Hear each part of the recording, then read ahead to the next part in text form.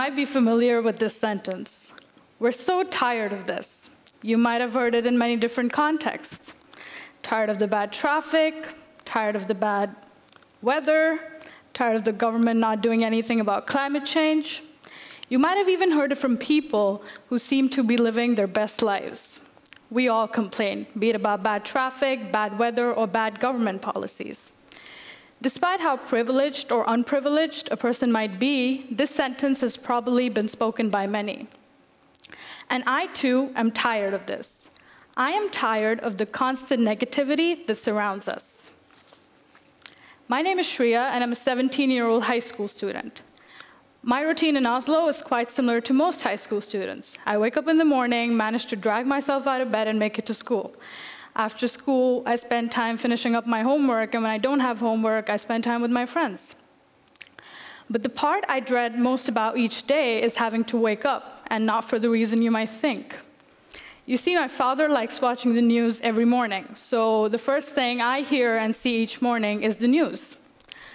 But I find the news to be so depressing. It's usually about some war somewhere, some financial crisis, a bombing, or a robbery. The point is, each morning I wake up to something negative, and honestly, I'm tired of that. Then I realized that this negativity isn't just limited to the news. Dinner table discussion often revolved around what is wrong with the world. My politically engaged friends are usually talking about the government and its flaws. And of course, social media might be refreshing with the memes for a second until there's a post about the extinction of an animal species. Try mentioning something positive about a world during a dinner table discussion. Chances are you'll be called out for being too optimistic, or someone will reply with something equally negative in return. Because most of what we consume about the world today is about what is wrong with it, it is almost as if being realistic is being negative. Then I resorted to the internet to find out more about this. Turns out other people have noticed this negativity and scientists have researched it. Today, a phenomenon called negativity bias evidently exists in the world. The essence of the phenomenon is this. Even when of equal intensity, negative things have a greater impact on our psychology than positive or neutral things. So basically, we tend to focus on the negative thing more than the positive thing. But then the question rises, why are we wired like this? Why do we tend to focus on the negative more than the positive?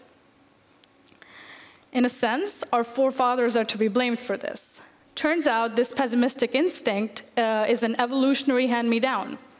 Psychologist Timothy J. Bono explains that for our ancestors, the bad stuff could be a matter of life and death. And that is why we're wired this way. For our forefathers, this bias was useful because it helped them identify between things that were life-threatening. But maybe it isn't as useful in today's day and age. This phenomenon is exactly what the media exploits. As supported by the bias, humans tend to focus on negative things more than positive things. This in turn affects our psyche. If you think about it, it really is a vicious cycle the media has realized that we as humans thrive off this negativity, and that's why bad news dominates the headlines and good things really make the front page. That effectively feeds into our fear of the world's alarming condition, which further enhances this bias. But bad news isn't going to stop. Bad things are still going to happen in the world, the media is still going to cover it, we're still going to view it, and it's still going to affect us, consciously or subconsciously. But like I said before, I was tired with this negativity. There had to be some way that I could be a well-informed person while also blocking out the negativity.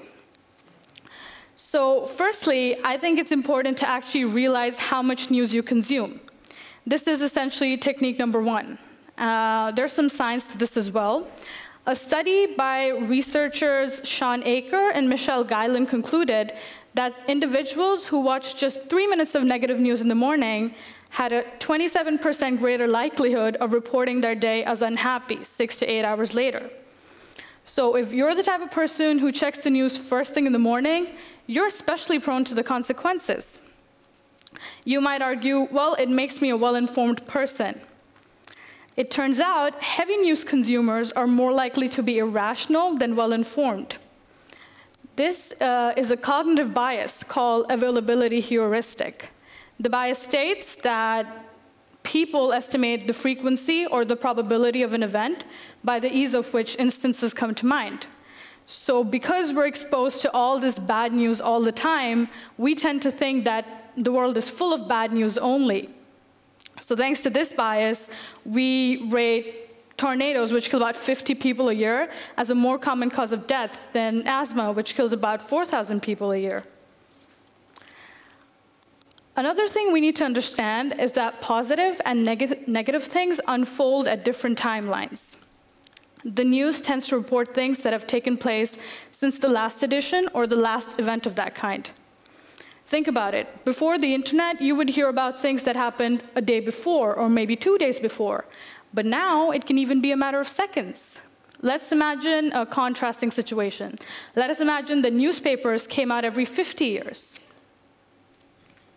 Peace researcher John Galtung points out that the headlines may not be about political scandals. Instead, they would report about significant global changes, such as an increase in life expectancy.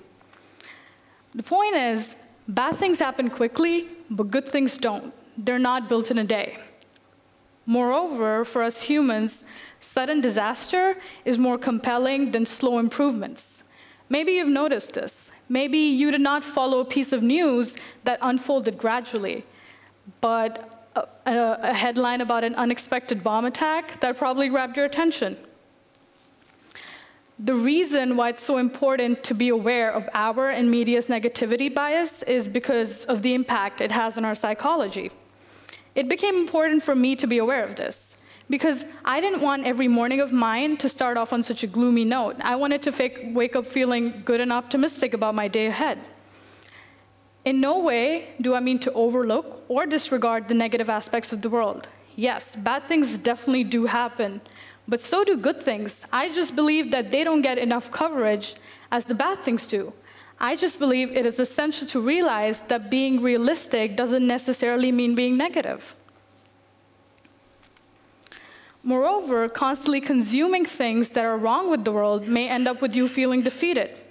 I know this because it happened to me sometimes. I thought trying to make difference, trying to make a change wouldn't really make any difference. You might think, why should I vote? It's not going to help. Or I could donate some money, but there's just going to be another kid who's starving next week. There is, of course, the argument that the media reports the bad news since it's the important one. It can contribute to positive change. For example, reporting about natural disasters may prompt action on environmental issues, or writing about inefficient government policy may point out the flaws in the system. While this may be true, the fact of the matter is that not every news organization bases their decisions on altruism. So we need to realize the length to which it affects us personally. We're exposed to all the news all the time, and our view of the world is obviously affected by this.